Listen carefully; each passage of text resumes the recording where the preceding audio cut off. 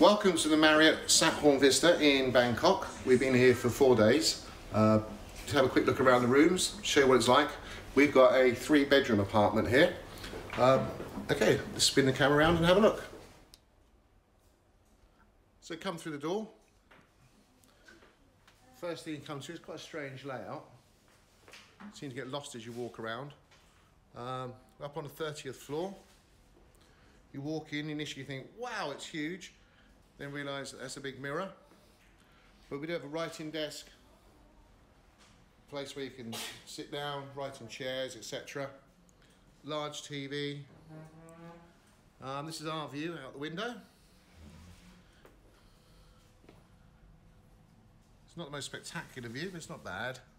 Um, directly behind the building in front is the King Power building, the tallest building in Thailand. You just can't see it because we've got a building in the way. Spin back around the other way. So we have the TV, now settee. Let's walk on through. Air conditioning in the room is really good, nice and quiet. Let's walk through to the main bedroom. Main bedroom, writing desk again. Nice large bed. Telephones by the bed. TV.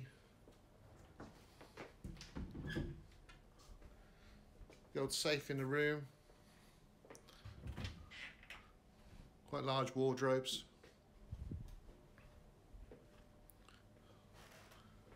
Once again, nice floor to ceiling windows.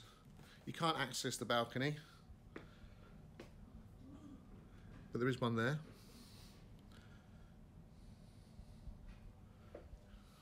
Then walk on round, huge ensuite bathroom,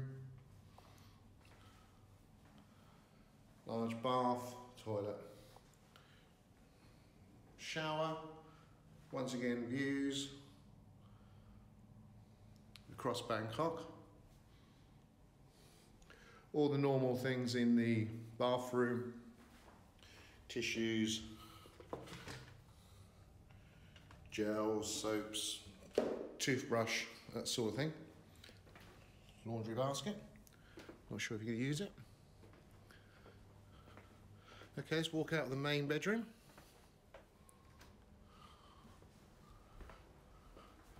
Coming out of the main bedroom into a dining area. A kitchen, fully equipped, microwaved, oven, hob, dual sinks, dishwasher, large fridge freezer, mini bar, complimentary bottles of water in there every day. And then what's also useful, obviously, when you, if you're traveling around places, is it has a tumble dryer and it also has a washing machine. There was some detergent supplied, only enough for one wash. Um, so you have to bring some more yourself. I think they probably sell it there at reception. It also has tea, coffee, Pringles, Oreos, and instant noodles. Next bedroom. So it's another double room. TVs, lights. Oh, quick look at sockets while we're here. So that's the type, so it's the European round or flat type you'd be using here. It is pretty, what is good about it is next to the beds are USB ports, so you can charge up phones, cameras and that sort of stuff while you actually stay in here. So it's quite a nice room, no problems at all. Third bedroom, similar size, slightly smaller double bed. So there's five of us here, so it's been okay. TVs again. Like I said, up on the 30th floor. And in the distance, we actually get to see the river.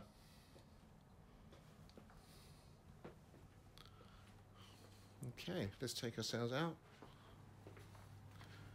Final thing to show you is the final bathroom. So I say it's got two bathrooms, a bit smaller, No bath, shower, loo, and all the usual things to go with it. Generally, the hotel is good. Um, there's no real complaints about the hotel.